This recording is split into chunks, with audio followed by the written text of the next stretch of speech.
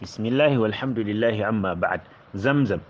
Zamzam ruwa ne mai albarka kuma rijiya ce shahararriya a masallacin harami tsakanin rijiyar da ginin ka'aba kamar mitoci ashirin ne. Kuma zamzam rijiyar annabi ismail ne dan annabi ibrahim allah ya kara yarda a gare su wacce allah ta'ala ya shayar da shi da ruwanta a lokacin da ya ji kishi alhalin yana ƙaramin yaron da ake shayarwa. Bayan mahaifiyarsa ta yi ta yawon nemo masa ruwa bata samu ba. Sai ta tsaya akan dutsen safa tana roƙon Allah ta'ala tana neman agajin ya agaza mata ga ɗanta.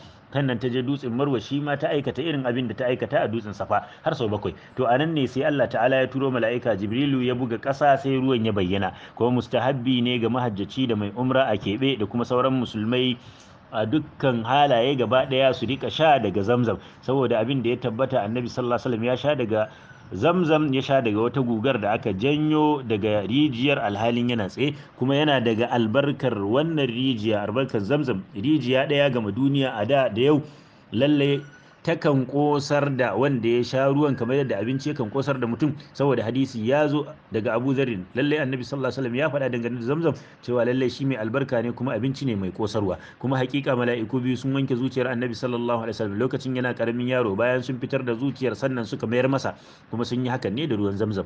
Kuma yana daga ladduban shan ruwan zamzam yin bismillah da numfasawa sau uku da cika ciki da ruwan da godiya wa Allah da faɗin alhamdulillah bayan kammala shan ruwan.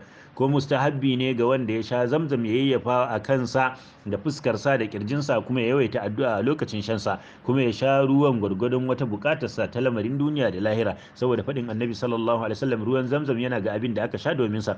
Kuma mustahabbi ne a yi guzurin wannan ruwa da ɗaukar sa da kai shi garurruka don kasancewar sauraka ne annabi sallallahu alaihi wasallam ya kasance yana ɗaukar zamzam a tare da shi a cikin salkoki kuma ya kasance yana kwara ruwan ga marasa lafiya kuma yana shayar da su shi. Wallahu alam.